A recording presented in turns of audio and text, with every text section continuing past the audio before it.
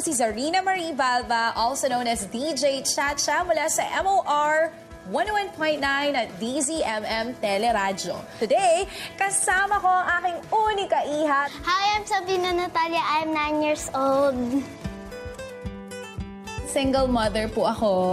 Dahil single mother ako, most of the time, kami yung lagi talagang magkasama sa bahay. So kahit na working ako, I really make sure na yung mga activities niya sa school, hindi ko nami-miss.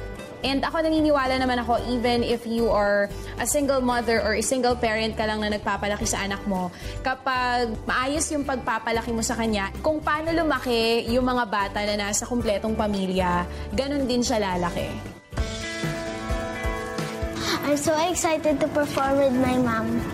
first ever ko to on TV. Plus, um, I get to do it with, with, with my child. Kung sinuportahan niyo ako sa radyo this time, suportahan niyo kaming dalawa ng anak ko. O dito po yan sa Kids' Choice.